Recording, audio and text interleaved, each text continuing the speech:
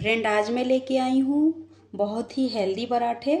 तो ये मूली के पराठे हैं। बहुत ही बढ़िया बना है। जिसको मूली के पराठे बनाने में दिक्कत होती है, अब उनको दिक्कत नहीं होगी। इस वीडियो को आप पूरा देखिएगा और अच्छे से फॉलो करिएगा। आप बिल्कुल अच्छे से पराठे बना सकते हो। आप देख लो इसमें कहीं भी ये पराठे फटे नहीं हैं। आप देख सकते हो कहीं भी नहीं फटे हैं। और इसके अंदर जो भर के आया है मूली का स्टफिंग वो बहुत ही ज़्यादा है। आप ये भी देख सकते हो। ये देखो, ये टूटा नहीं था, जैसे मैं खोल रही हूँ तो ऐसे हो रहा है वो। आप देख सकते हो कितना सारा इसमें भरा हुआ है फिलिंग तो ये बहुत ही बढ़िया पराठा बना है तो आप इसे ज़रूर बनाइएगा। और वीडियो को लाइक करिएगा कमेंट करके बताइएगा कि आपको ये कैसा लगा।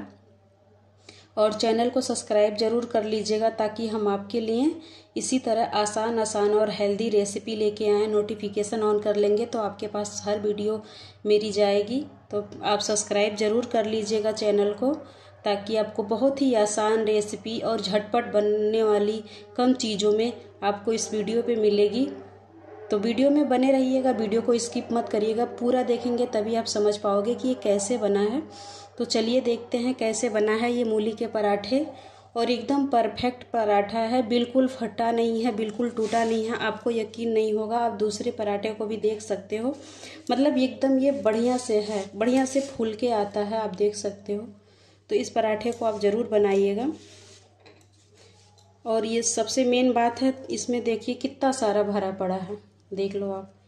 एकदम भर के है इसमें मूली और ये खाने में बहुत ही स्वाद लगेगा। तो चलिए देखते हैं कैसे बनता है। राम राम दोस्तों, कैसे हो आप सब? उम्मीद है सब अच्छे होंगे। तो आज मैं बनाने जा रही हूँ बहुत ही हेल्दी पराठे, वो भी मूली के और बिना मसाले के। तो इधर मैंने दो कटोरी आटे को छान ली हूँ और एक चम्मच अजवाइन ले ली हूँ। इसको हम अच्छे से क्रश करके तब डालेंगे। इसका फ्लेवर बहुत ही अच्छा लगता है पराठे में।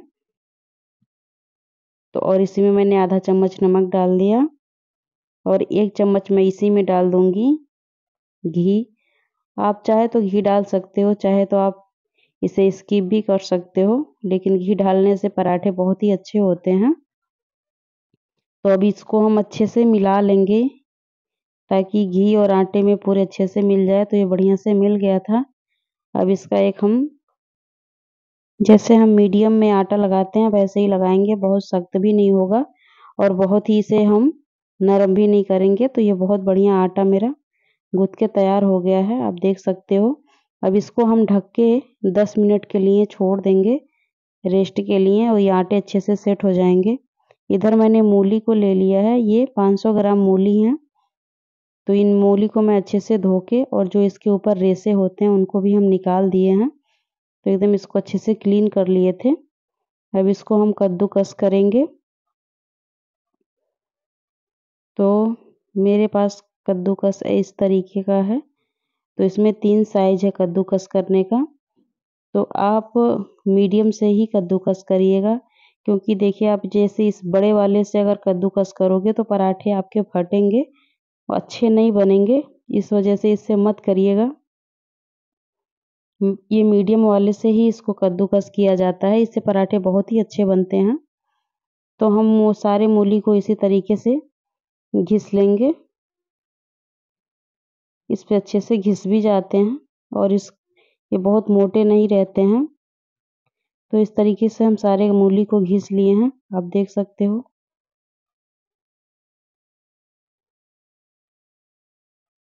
और ये पूरा अच्छे से बढ़िया हो गया। अब इसको हम साइड में रख देंगे और इधर मैं चार पाँच हरी मिर्च ले ली हूँ और थोड़ी सी धनिया की पत्ते तो धनिया के पत्ते को भी मैंने धो के अच्छे से साफ़ कर लिया था। इसको सुखा भी लिए थे, इसमें पानी नहीं था, मैं पहले ही इसको धो के रख दी थी। तो अब इसको हम बहुत ही बारीक बारीक काटेंगे, मोटा नहीं काटना है। तो हम धनिया को बहुत बारीक बारीक काट रहे हैं। तो इसी तरीके से हम बारीक बारीक इसे काट लेंगे। और हरी मिर्च को हम इस तरीके से काटेंगे। इस तरीके से चीरा लगा देंगे सारे मिर्च में बीच से। और उसके बाद फिर हम इसे काटेंगे। इससे भी पराठे फटते नहीं हैं। तो अब मिर्च को भी हम बहुत ही बारीक काटेंगे। इसको भी मोटा नहीं काटना है। तो इसको भी बहुत बारीक बारीक हम इसे काट ले रहे हैं। और मिर्च भी मेरा कट के तैयार हो गया है। देख सकते हो आप, और धनिया भी कट गया है। तब इनको हम साइड में रखेंगे। और ये मूली को मैंने पाँच मिनट ऐसे ही रेस्ट पे रख दिया था कद्दूकस करके। अब इसको हम एक कॉटन के कपड़े में, ये कॉटन का रुमाल है। तो इस कॉटन का ही आप कपड़ा लीजिएगा तो ज़्यादा बेटर रहेगा। तो अब हम इसी में ये सारे मूली जो कद्दू कद्दूकस हुआ है, इसको इसी कपड़े में ऐसे रख देंगे। और इसको हम अच्छे से निचोड़ेंगे। इसमें पानी नहीं होना चाहिए, नहीं तो आपके पराठे फट सकते हैं तो इसको बहुत ही अच्छे से निचोड़ना है। जितना इसमें से पानी निकल सके, उतना आप इसे निकाल दीजिएगा। इस तरीके से इसे निचोड़ निचोड़ के खूब दबा दबा के इसमें बिल्कुल पानी नहीं होना चाहिए। तो इसे हम अच्छे से दबा दबा के सारे पानी निकाल दिए हैं। तो अब इसको हम निकाल दे रहे हैं कपड़े में से। इसको अच्छे से निचोड़ना पड़ता है। अब ये देखिए, बिल्कुल सूखा हो गया है। इसमें पानी बिल्कुल नहीं है। तो इस तरीके से हम इसे खोल के फैला लेंगे। अब इसी में मैं कटी हुई हरी मिर्च डाल देंगे और कटा हुआ धनिया। अब इनको हम अच्छे से मिला लेंगे सारे मूली में, ताकि एक बराबर से सारे में मिल जाए ये। इसमें मसाला बिल्कुल नहीं पड़ता है, ये बिना मसाले का बहुत हेल्दी बनता है। अब इसको हम थाली में इस तरह लगा देंगे और हमने एक चम्मच नमक ले लिया है और इधर आटा मेरा अच्छे से सेट हो गया है। आप देख सकते हो तो मैंने इसको एक बार और इस तरीके से मल, मसल दिया था। अब मैं इधर तवा रख दी हूँ गर्म होने के लिए गैस पे। और अब मैं आटे को छोटे छोटे ऐसे पेड़े तोड़ ले रही हूँ, इनकी लोई बनाने के लिए। तो इस तरीके से बहुत बड़ा बड़ा हमने नहीं लिया है। जैसे नॉर्मल हम रोटी बनाते हैं, उसी साइज़ का हमने पेड़ा तोड़ा है।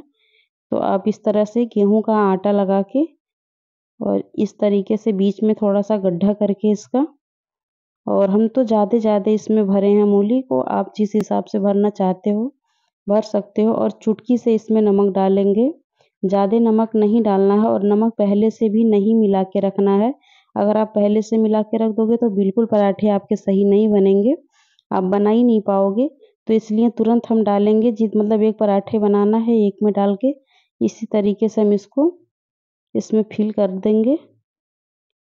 और अब इसे बेल देंगे। ये बहुत ही आराम से बेल जाएगा, क्योंकि हम नमक तुरंत डाले हैं और तुरंत इसको हम बेल के तवा गरम हो गया था, हमने उस पर पराठे रख दिए। और दूसरी भी पराठे को हम बेल ले रहे हैं। इधर मेरा पराठे एक तरफ़ से गया था तो मैं इस पर घी लगा रही हूँ।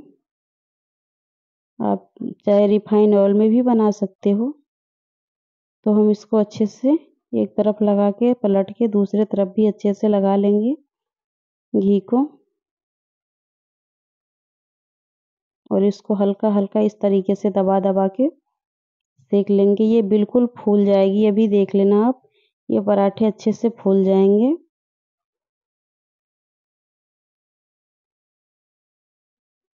देख लीजिए, ये पराठे अब फूलने लगे हैं। तो आप इस तरीके से बनाएँगे तो ज़रूर ये फूलेगा। देखिए, ये पराठे हमारे फूल गए हैं, देख सकते हो आप। तो इस तरीके से आप बनाएँगे तो एकदम परफेक्ट आपके पराठे बन के आएँगे और इसी तरीके से हम सारे पराठे बना लेंगे। तो अब इसे हम निकाल ले रहे हैं प्लेट में। इधर मेरे सारे पराठे बन गए थे तो मैंने इधर प्लेट लगा लिया है। इसमें मैंने दही और धनिया की चटनी के साथ इसे सर्व किया है। तो आप इसी तरीके से इस पराठे को बनाइएगा, बहुत ही आसान है, झटपट बन जाएगा। और वीडियो अच्छे लगे तो लाइक करिएगा कमेंट करके बताइएगा आपको कैसा लगा। और आप इसे ज़रूर ट्राई करिएगा एक बार बना के। ये बहुत ही आसान है और जिस तरीके से हमने आपको बताया है, अगर आप इसी तरीके से इसको बनाओगे तो बिल्कुल आपके पराठे फटेंगे नहीं और बढ़िया से देख लो कितने सारे इसमें हमने मूली के स्टफिंग भरा है, बहुत ही बढ़िया से भर के देख सकते हो आप। तो इसमें बहुत ज़्यादा हमने अच्छे से भर के बनाया, आप इसी तरीके से बनाइएगा। अब मिलेंगे नेक्स्ट वीडियो में, तब तक के लिए बाय बाय